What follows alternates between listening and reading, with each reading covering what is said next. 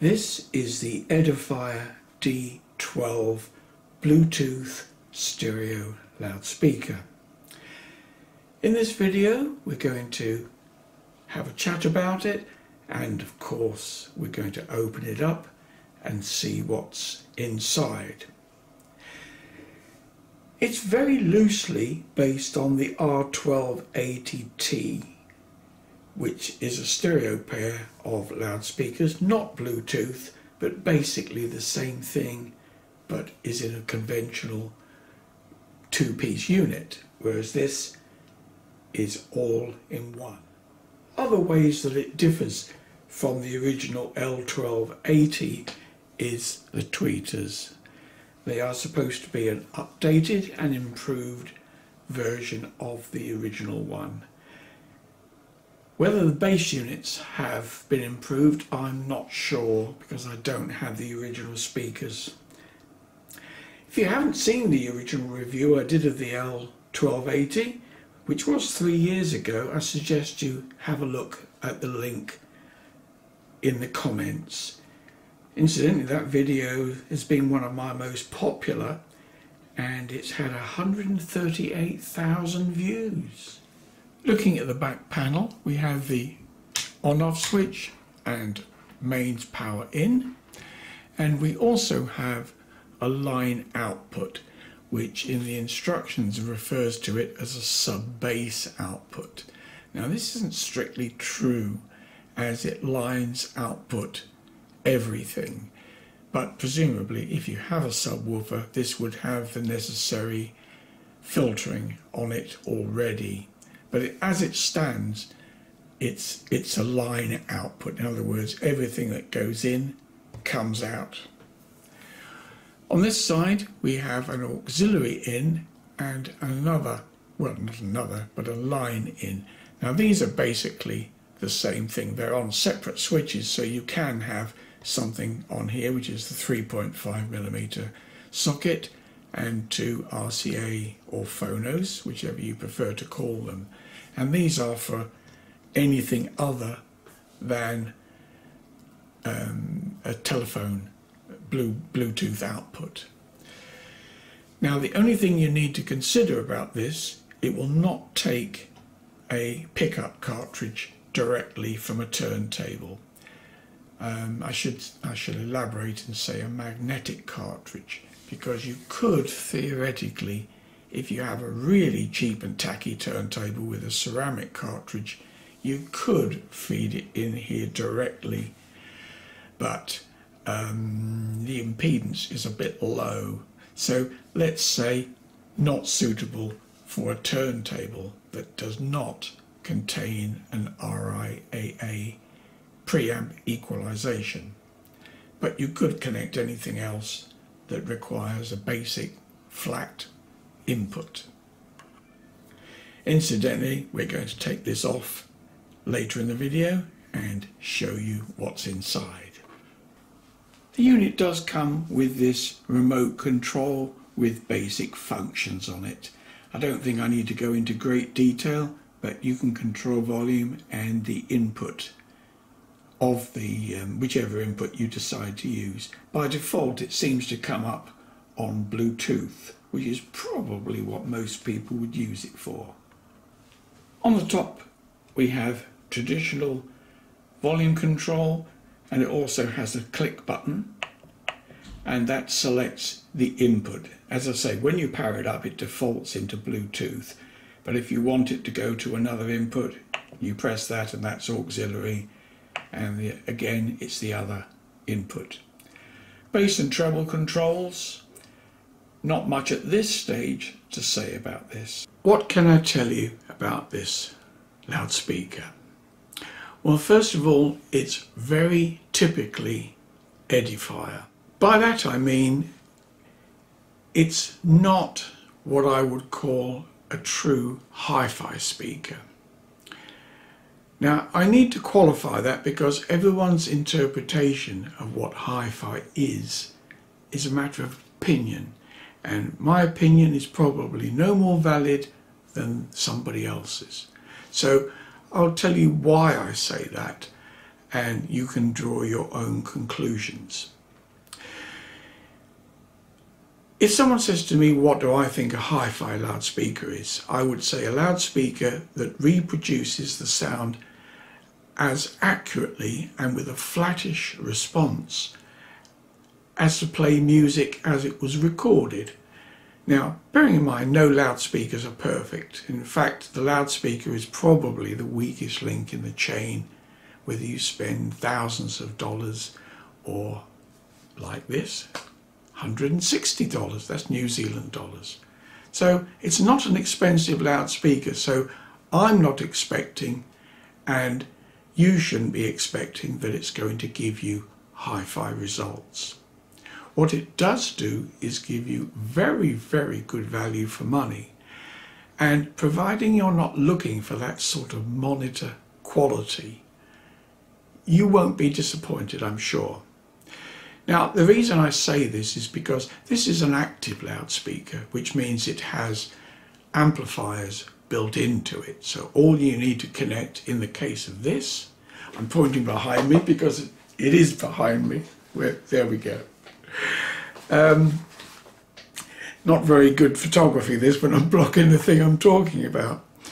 But this has two amplifiers and it was it is designed primarily to connect to a telephone and output music or whatever you have on your Bluetooth uh, telephone.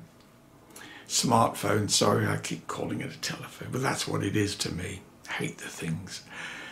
And the quality from the Bluetooth is pretty good. It's not as good as the line input, but then it won't be because Bluetooth as a medium is not as good. But for connecting it to your phone, it does give pretty good results. Now, the point that I should have made earlier, I've been beating about the bush as per usual.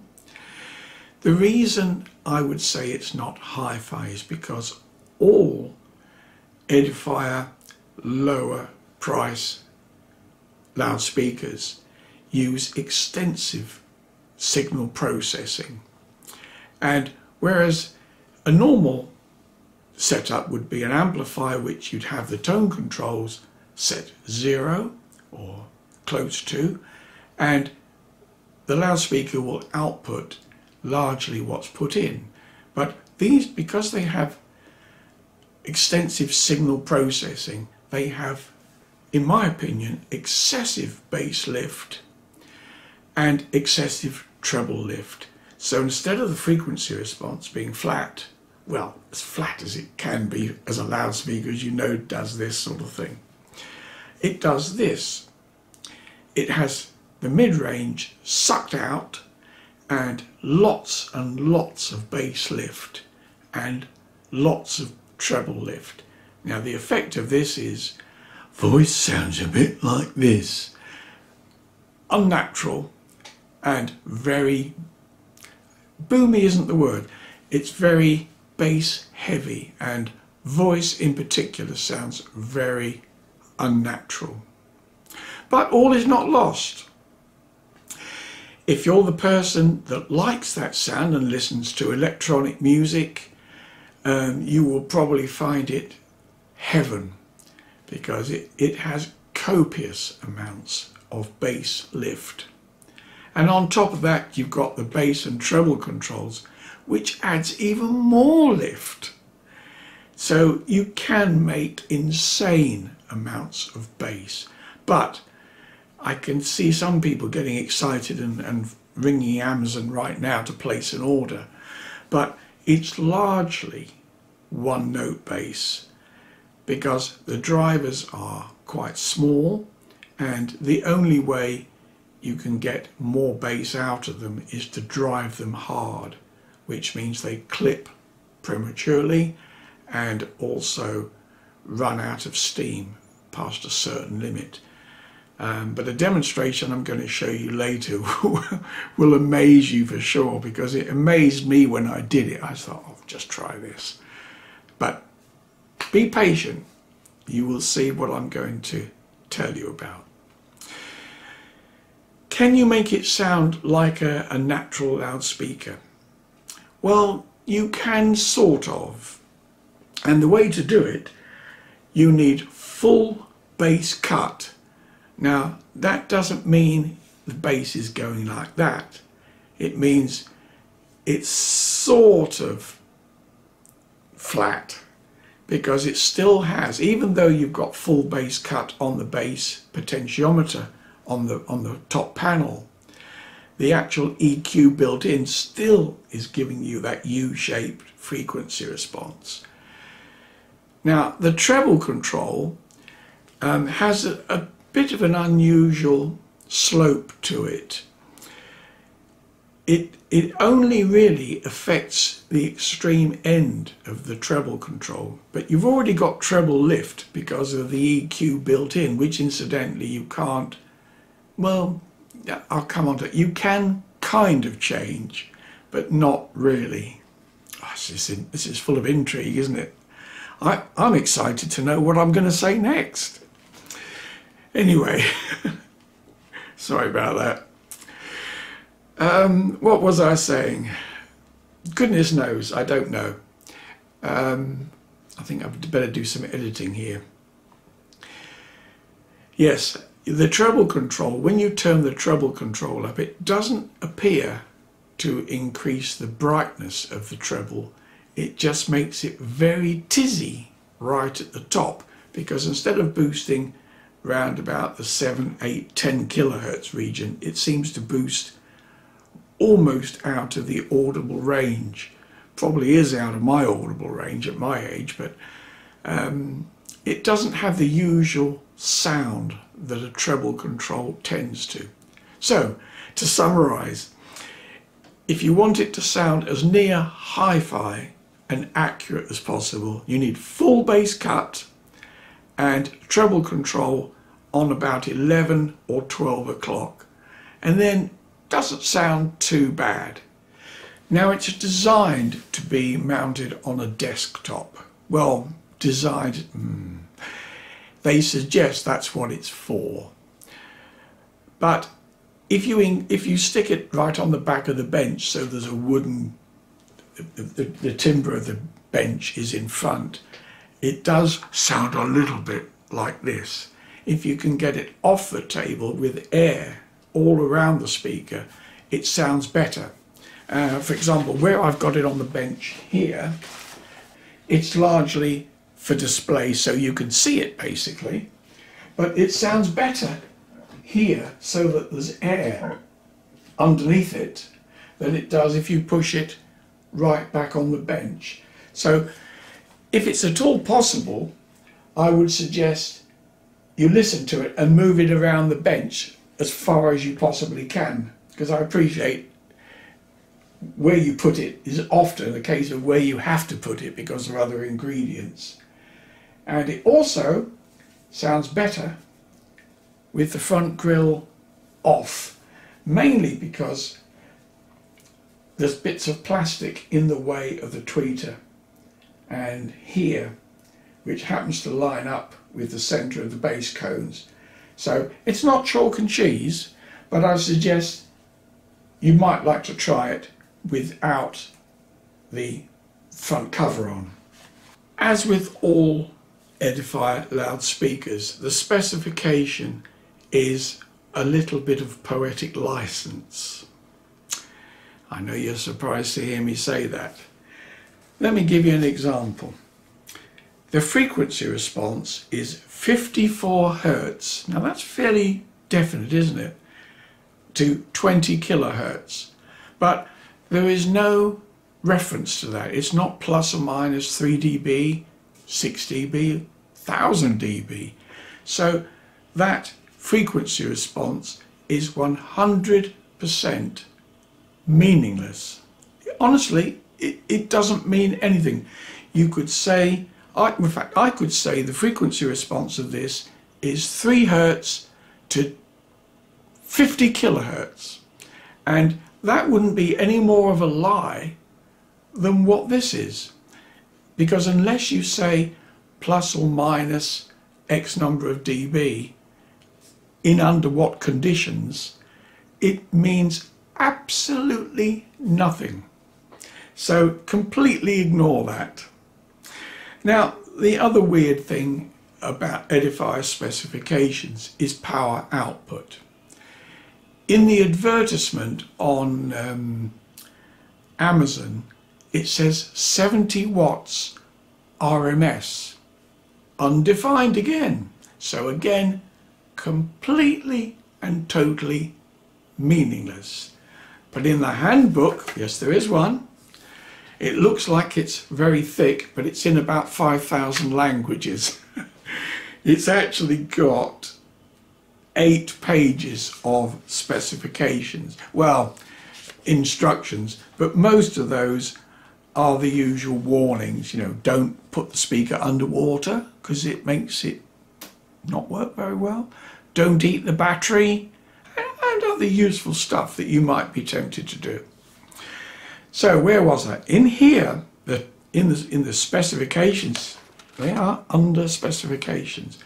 Power output, and then it says left, right, treble, 15 plus 15 watts. Now, one thing that isn't in here, it's not biamped. So why you'd get a different power level from the treble um, units and the bass mid-range, I don't know because the bass mid-range is rated at 20 watts. Again, unspecified, so they don't say whether that's 10 watts per channel, um, but it, can't be both and it, it also it, it sounds like they're sort of rating the drive units but of course they're not because if, if you put 15 watts sine wave into a tweeter it would just burst into smoke because if you rate it at 15 watts it probably means it will play the treble content of 15 watts of music which would make more sense but it would certainly not produce 15 watts of sine wave at any frequency. Honestly, if you were sine wave a tweeter, you'd be lucky if it would produce more than two or three watts before it bursts into smoke and flames. I've done it. You don't want to do it. Very expensive. So anyway, so that's the specification don't take much notice because as you can see 70 watts RMS I mean that is a specification of sorts but it doesn't claim over what frequency band at what distortion level the amplifier is so again you might as well say the power rating is 12 and a half lemons or even oranges because it means the same nothing I was going to say something rude then but nah I'm not going to. YouTube doesn't like it if you use bad words. The part that you may have been waiting for, we're going to take the thing to bits and see what's inside. To get the bass unit out, um, you need a 3mm Allen key, which is a bit like this. Now, what you need to do is to make sure you don't dig a hole in the cone Again, I speak from experience on this, so do this with great care. Right, the screws are out, so we must try and lift up the bass cone. It doesn't want to give up. Oh, it's got the usual bit of bum fluff on the end. In fact, the drive unit looks remarkably the same as the previous speaker that I looked at. And it's also got this piece of embarrassingly small buff wadding on here, which I would suggest is almost completely useless. Well, there isn't much at this stage to tell you other than the fact that the two units, if you like, are separated by that timber frame so you do get a degree of separation. Now right at the top there is the amplifier but we're going to take the amplifier board out and have a look at it shortly. So from this view there isn't really much to show you. The port here stretches about, what's that, three to four inches. And we'll have a quick look at the tweeter to see if there's any crossover. Down there, by the way, almost out of sight, is the power supply, which again we'll try and have a look at shortly. So we'll whip out the tweeter now and have a look at that. Rather annoyingly, the tweeter has a different size Allen key required. This is a two and a half millimeter one, but it doesn't matter. It's just one of those things that mean I had to delve in the cupboard to find another set of Allen keys. So we'll just whip this out. That's the last screw. A couple of points just before I nip, whip this out. You'll notice it's cut away here, so the tweeter coil is nearer the bass coil. Now on the original Edifier speaker, I did comment on that, that the tweeter was quite a distance away from the cone for, of the bass unit and it didn't integrate terribly well. But I think they've done that partially to save space, but also it, just by default, it means that the two units do integrate a little better. And something here which you can probably just about see, this is the infrared pickup. Um, no, it's not infrared. It must be. Um, I don't don't don't honestly remember, um, but that's where it picks up the remote control, and it also has the uh, coloured display. I'll show you that later. Anyway, let's whip out the tweeter. It's a staggeringly light. Ah, now that's interesting. There are no capacitors on it, so we'll have to look at the um, amplifier when it comes out. Maybe it does have a separate amplifier. I, I will, I would be amazed if that's the case, but it could be. So we'll pop this back and whip out the back panel. I have to say there's a limited amount of information I can give you on this. If I point to here, this is the audio amplifier chip and I haven't been able to identify it. These are the numbers that I've actually taken off it, but I can't identify it from um, any information on the internet. But it looks like it's a Class D, well, it is a Class D amplifier. Um, you can identify these by the chokes here.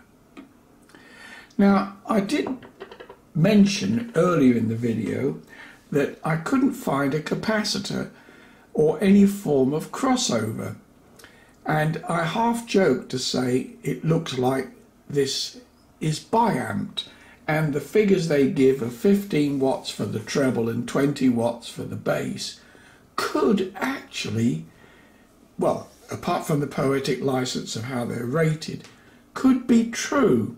As I can't identify the chip here, I don't know how many amplifiers are on it, but it suggests that, that there is four, i.e. two per channel and that would lead it to believe that the it does have an electronic crossover of sorts and maybe these two chokes here feed the high frequencies and the two chokes here which are bigger feed the low frequencies which would kind of make sense the only other chip I can't identify is this one and that is obviously the signal processing and steering, judging by the components around there.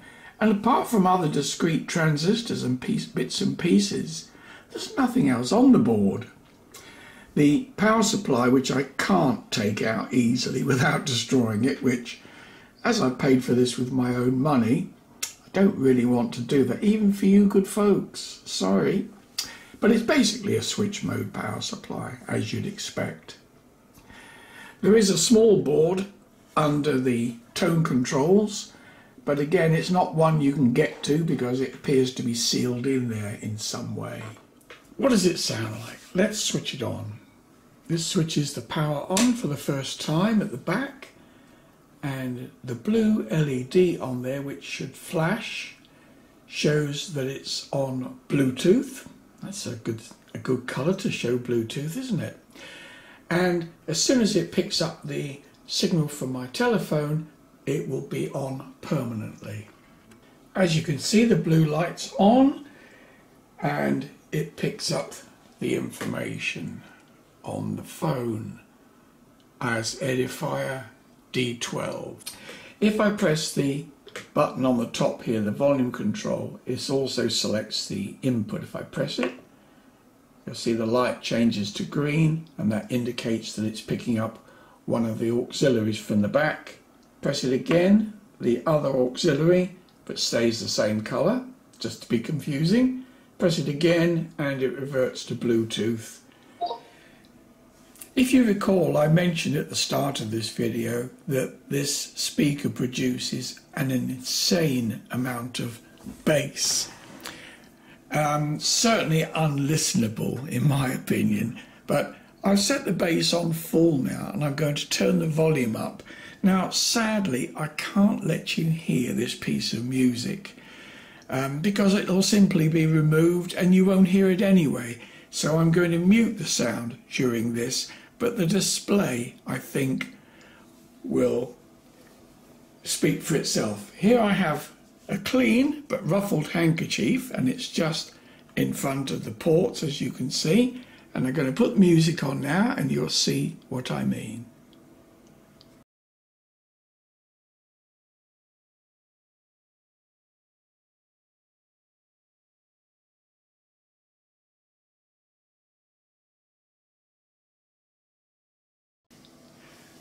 I mentioned earlier that this speaker sounds better with the front grille removed and I have devised a, small test that will show you what I mean. I'm going to play some white noise through the speaker and white noise for those that don't know is basically random noise or hiss I guess you'd call it for want of a better word and I'm going to play it like this and then with the speaker cover in front of it and you will hear a difference in the sound and which demonstrates what's basically wrong with the front panel. So we'll play the noise now and get you listen to it.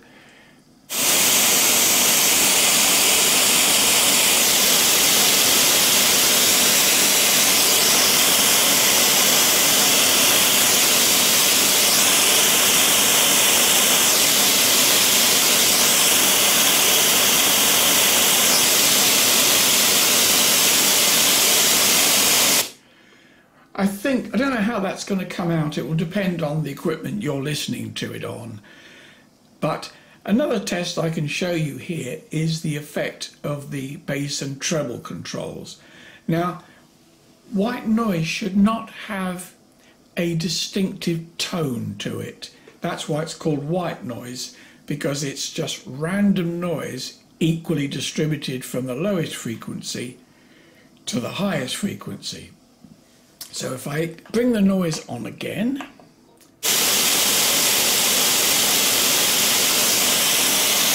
bass,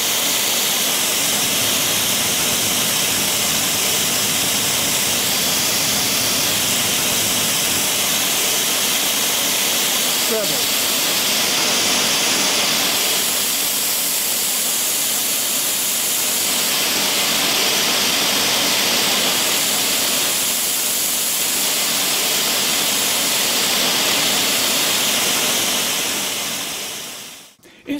I forgot to mention, compared with the original um, Edifier, uh, number of which, yes, the 1280, these tweeters are now supposed to be silk dome, whereas before they were undescribed. And touching it very lightly, it does feel like a soft material rather than a hard sort of plastic cone as the original tweeters were. A quick summarisation now. Is that a word? Or did I just invent that? And then I'm going to play you a little bit of royalty free music from YouTube. Um, not the best for quality, but give you some idea. And I've adjusted the tone controls to give you what I would consider to be the best balance. Not, which is basically full bass cut and treble on at 11 o'clock. So to summarize, should you buy it? If you want a very good value speaker that has a reasonable sound amplifier and produces a reasonably good sound, not hi-fi. If you want hi-fi, you wouldn't be spending $160. So for $160, I would rate it 8 out of 10. So let's have a listen to some music. Thank you for watching.